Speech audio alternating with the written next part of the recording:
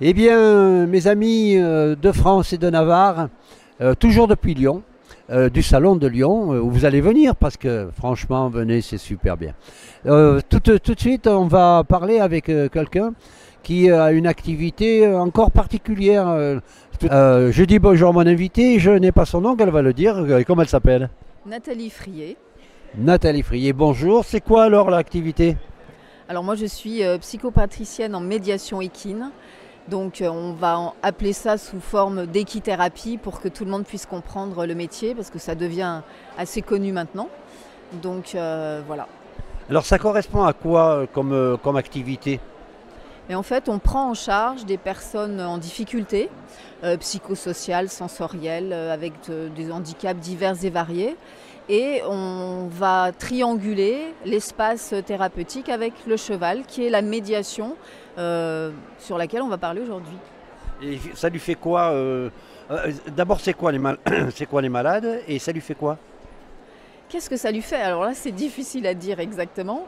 En tout cas, ça agit, la présence du cheval agit au niveau corporel, émotionnel et relationnel.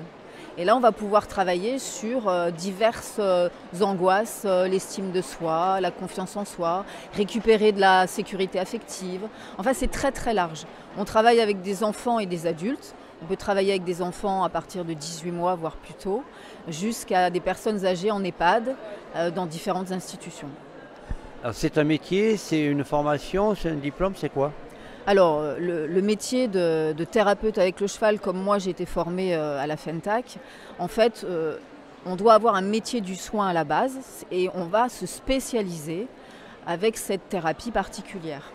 Mais maintenant, par exemple, la, FFE fait une formation où elle accepte effectivement que des gens du métier du cheval, des moniteurs d'équitation, viennent se former aussi à cette spécificité.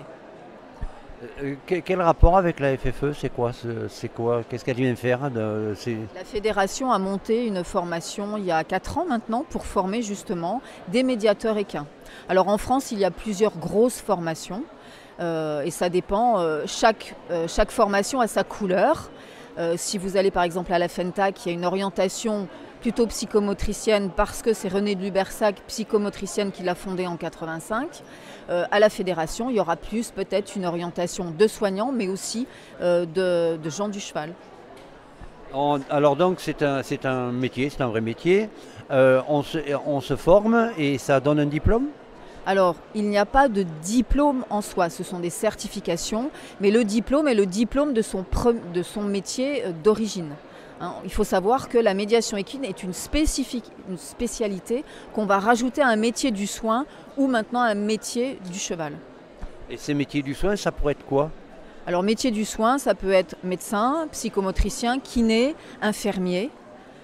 Voilà. Si Ah ben bien sûr, les psys, faut pas les oublier. On parlait tout à l'heure euh, de Jean-Claude Barré. Euh, le, contenu de, ces formations, euh, ça vient d'où ça, vient ça vient de quoi? Qui c'est qui invente ça? Alors les contenus de formation sont des formations effectivement où on va on parlait de Jean-Claude Barré qui est le premier éthologue qui a étudié les chevaux en France, qui nous a quittés il y a quelque temps. mais effectivement, il est nécessaire de connaître absolument l'humain dans toutes ses composantes, corporelles et psychiques, et de connaître les chevaux, bien évidemment.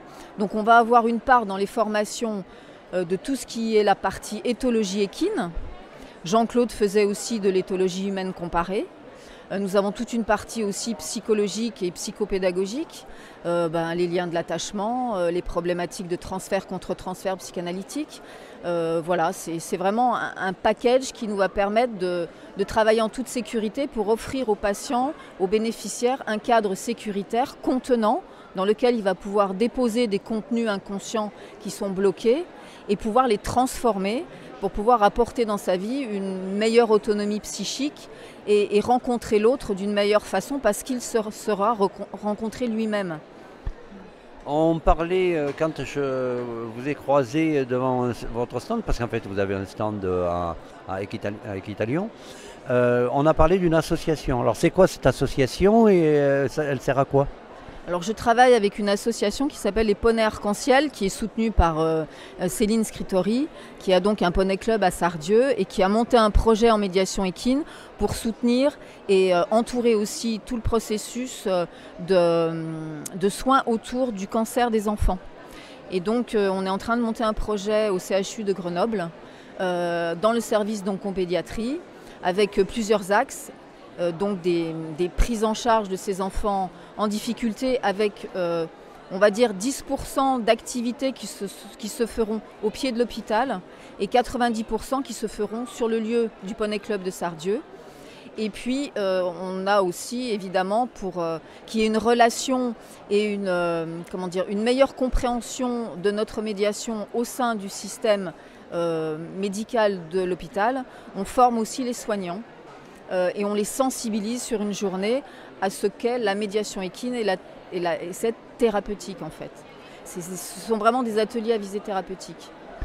Très bien. On trouve facilement des écoles pour, euh, pour, être, euh, pour, se spécialiser, puisque j'ai compris qu'il fallait avoir un métier dans le soin. ça se trouve facilement si quelqu'un nous écoute et il dit ben moi je veux faire ce métier, on trouve? Alors oui, vous allez sur Internet et vous cherchez formation médiateur équin ou équithérapeute. Et là, ça, a fleuri là, ces dernières années. Mais vous avez quand même des grosses formations euh, sur plusieurs années. C'est-à-dire que généralement, c'est sur... Euh, alors, pour la, Fédération équestre française, c'est 16 euh, mois de formation. Pour la FENTAC, vous avez deux ans de formation. Euh, et vous avez les équiciens, alors là je ne sais plus, mais ça doit être à peu près le même euh, temps. Alors je parle de formation longue parce qu'il est nécessaire d'avoir des formations avec au moins 600 à 700 heures de formation. Euh, vous avez l'IFEC et la SFE qui sont aussi une émanation de la FENTAC qui s'est fait il y a quelques années. et puis vous avez un fleurissement de petites formations qui valent ce qu'elles valent. Alors ça peut être des sensibilisations, mais il faut du temps pour se former à cette médiation. Il faut que ça travaille à l'intérieur de soi et on ne peut pas faire ça en 15 jours ni en 35 heures.